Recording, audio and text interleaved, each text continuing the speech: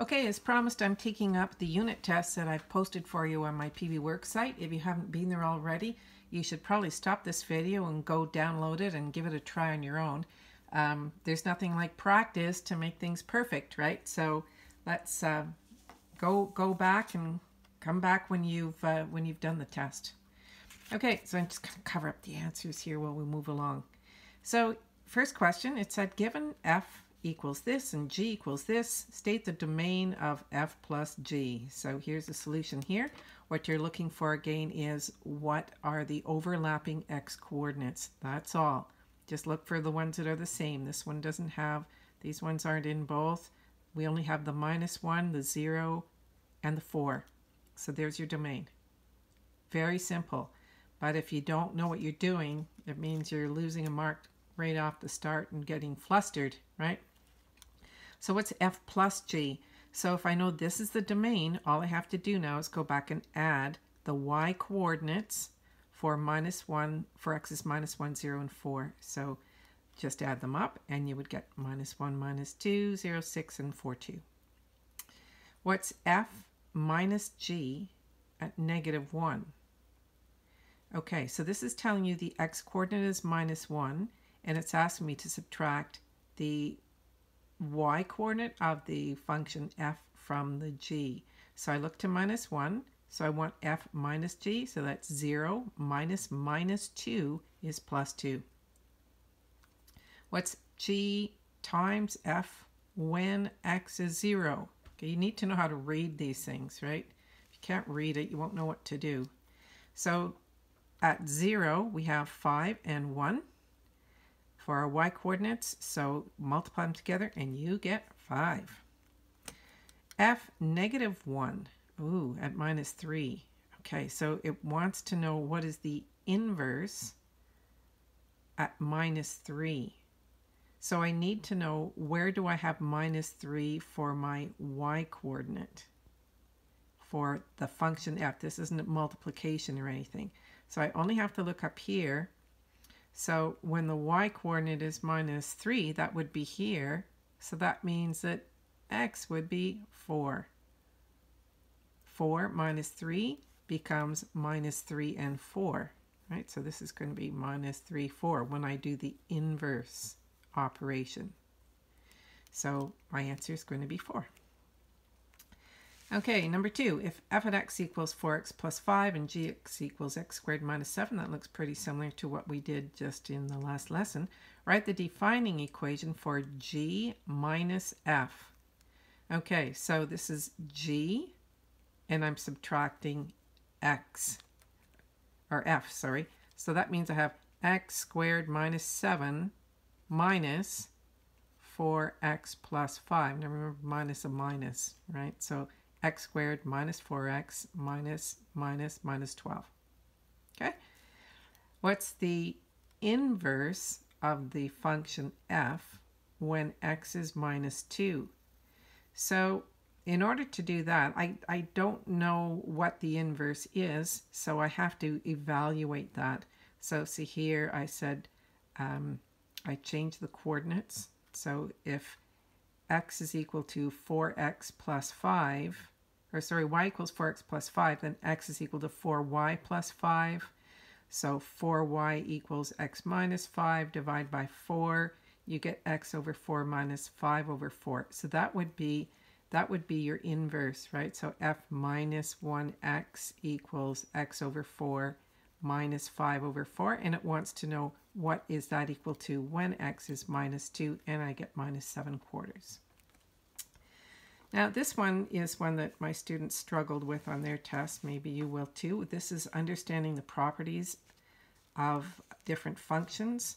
So you're given all these parent functions. So I've done a little sketch of each one beside it. And that, that might be a good thing for you to do if you have such a question on your test so that you can remember what they look like.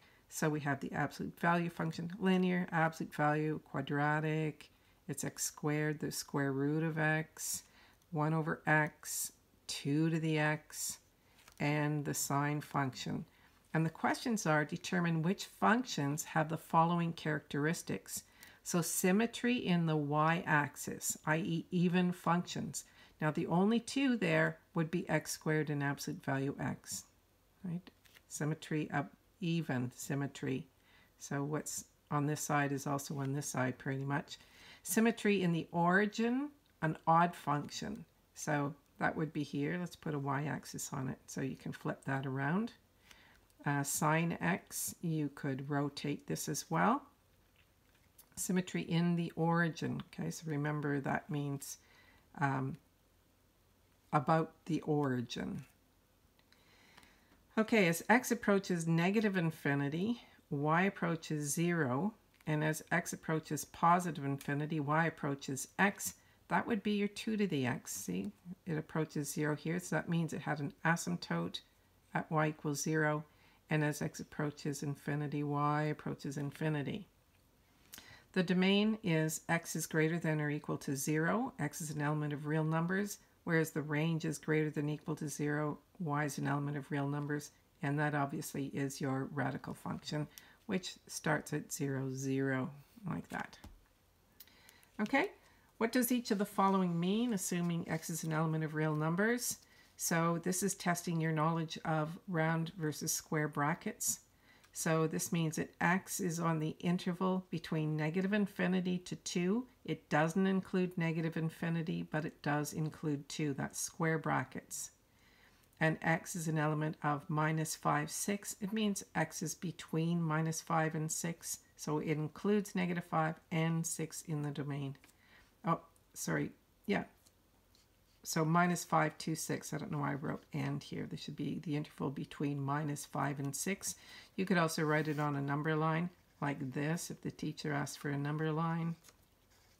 And you would join it like that. Or you could say minus 5 is less than or equal to x is less than or equal to 6. Those all mean the very same thing. Okay, on the next page, on we go. Point 1, 2 is a point on the graph of f at x. Find the corresponding mapping rule that maps f at x onto each of the following functions and then the image point of 1, 2. Okay, so we're given two different mapping rules and I give you right here, I said, what is the mapping rule for this?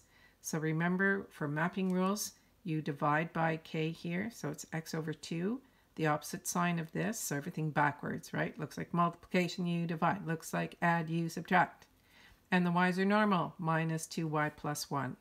So then all you have to do is plug in your x values. So a half minus 6 halves would be minus 5 halves, and minus 4 plus 3 is minus, oh, sorry, minus 4 plus 1 is minus 3. This one, um, this the teacher will always give you a tricky one like this, right? They expect you to know to factor out the coefficient here when you have x in brackets here. So I had to factor that out, and minus 1 divided by half is minus 1 times 2. So I have x minus 2.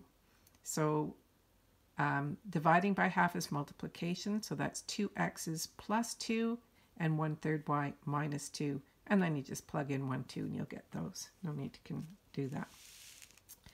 Given f at x is 1 over x now, sketch the graph of y equals f at x equals 1 over x by plotting at least six points.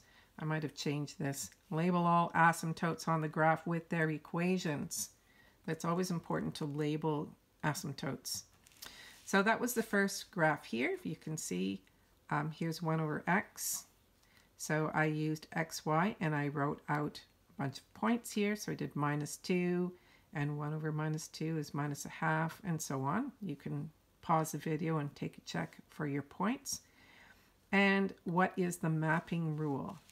So mapping rule in the equation of the transformed function. So remember, this is a rule that you're going to apply to this function. It's a rule. So the 3, it could either be out front. You could write it like this, 3 times and then 1 over. And in for x, you're putting in this, so that's why it's in the denominator, right? It went here, went in for x, and this is your y. It goes on the outside. So you could write it like um, I have like that, or you could write it, whoops, that's minus, like that. Okay, either that or this. This means the very same thing. Okay, so Um, asymptotes, you should know your asymptotes, where, the where they are by looking at this function. So it was shifted to the left 2, so that means x equals negative 2, that's right here, is your vertical asymptote. Your horizontal asymptote, it was shifted down 5, so 0, subtract 5, that brings it down to here. There you go. And then once you've done the mapping rule on those points, you should easily see that the graph is going to be in these two positions. Okay?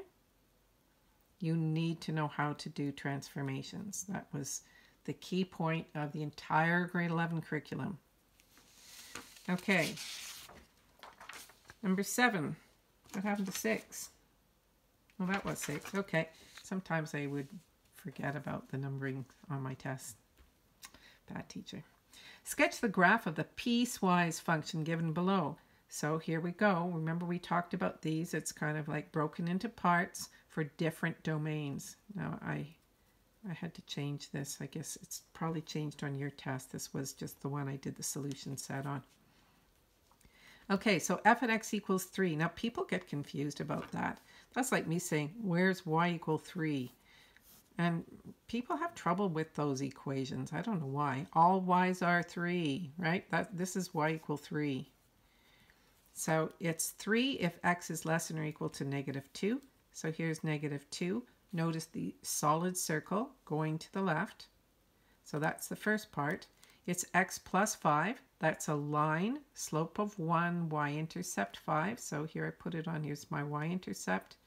And it goes from minus 2 open circle. So if I was to draw this, you would have seen it like this, right? It goes like this. And then to a solid circle here. So that's your pink line. Um, up to 3, so I plug in 3. 3 plus 5 is 8. So there's my coordinate here. This would be 3, 8, and it is a solid circle because it's less than or equal to. And then it's x squared minus 2 if x is greater than 3. So I want to find what is the height of the function when x is 3, and then put an open circle there. So 3 squared is 9, minus 2 is 7. So this coordinate here would be 3, 7. But it's open circle. See, open, open. It doesn't include that point. And then it's still going up. It's a quadratic. Okay, it says determine whether the function is continuous at x equals negative 2 and x equals 3 by merely looking at the graph. Explain your choice. So you would say that at minus 2, the function is continuous because um, it includes this point. So as I come from the left, it's minus 2. And as I come from the right, it would also be minus 2. So it is continuous. Um, and it's discontinuous at 3 because you see here we have this um, point, not a point, yeah, point discontinuity or jump discontinuity. So it goes from here down to here. So it's discontinuous at 3, continuous at minus 2. Is f a function? Give reasons for your response. Okay, so the answer is yes, because for every value of x, there is one value for y. You might look here and say, oh, but what about this one? Well, it doesn't matter because this is an open circle and this is a closed circle. If this had been greater than or equal to 3, and you had that solid circle here, that would not be a function, but this one is. So the answer is yes, it is a function. For every value of x, there is one value for y. And the last question says, is the inverse of this a function? Now remember we talked about the horizontal line test. So you can see that this part of the graph here, if I did the inverse of it, this would be, so this is minus 2 and 3. So the inverse would be 3 and minus 2. Right? 2 minus 2 would be 3 and minus 2.